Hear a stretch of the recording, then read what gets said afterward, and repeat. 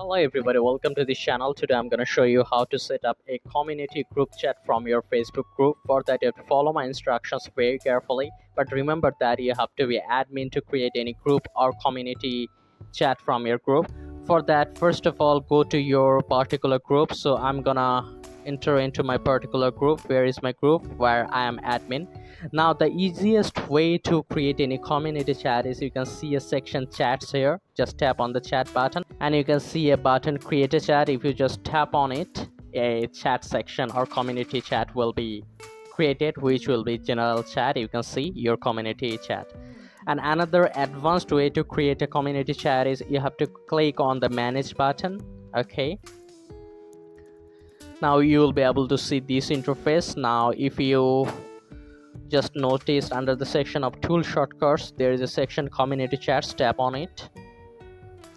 And you can create any chat with the admins and moderator. Then you can create a chat with give and get support. Then mood boost then request for admins something like that. As well as at the first section you can see it is general chat. Okay so this is how easily you can just create any chat. So just let me click create chat. You can see i'm gonna name a chat like dream film BD click create chat.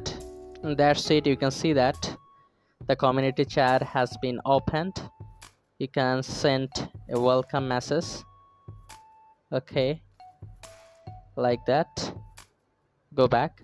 So this is how you can easily create a community chat from your group. If this tutorial helped you like this video and don't forget to subscribe to my channel. See you in the next one